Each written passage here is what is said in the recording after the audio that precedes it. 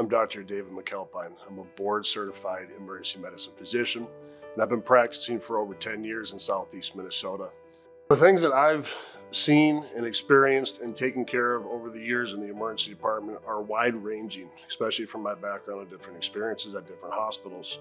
And I've seen and managed trauma, broken bones, dislocated joints, heart problems, heart attacks, strokes, pneumonia, all kinds of different viruses from COVID to influenza.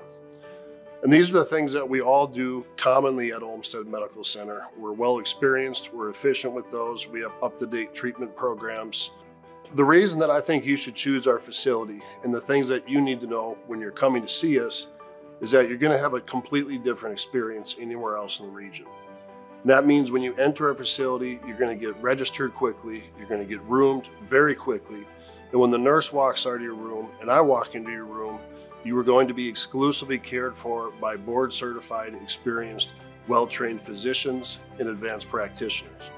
The way that I approach patient care is kind of twofold, where first of all, I try to make a connection with you right away and understand what is it that you're concerned about today and why did you come into the emergency department? And that's really important to me because I need to make sure that when we're done, that you are confident walking out of our facility, that you got everything you needed and we gave you the answers that you need to go home, feel confident, feel calm and at peace. The second part of my job, which I can do independent of that first part, is I need to assess, in my mind, what are the things here that are of high consequence? So, one example is see hundreds of patients every year for chest pain.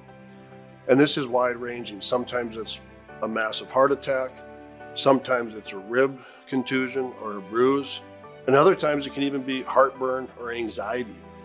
But when I'm talking to you and understanding where you're coming from, I'm also at the same time doing an assessment in my mind in terms of what are the things you might not even know about today that are important that I definitely don't want to miss on you so you can have sustained health when you leave our facility. When I'm not at work, I enjoy lots of things in Southeast Minnesota. I was born and raised here. I always grew up doing things outdoors. I spend a lot of time on the water uh, with my family, with my kids, out on the water fishing, and just a lot of time in general just being outdoors.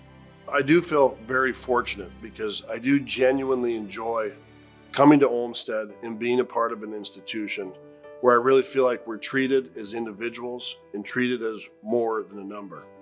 Come see us at any time for any of your concerns or your medical questions because we are experienced, we've seen everything, we've done everything, we're capable of doing all the procedures you need, all the stabilizing treatments that you need, and we're very well connected in the region both outside of our hospital, but also with a growing and very robust telemedicine service that we have available in the emergency department anytime, 24 7. And that includes pulmonary medicine, cardiology, intensive care, nephrology, kidney physicians, psychiatry, neurology, among many others. So when you think about coming to our facility, understand that we have everything that you need here to meet your needs for care and to get you feeling better and stay healthy.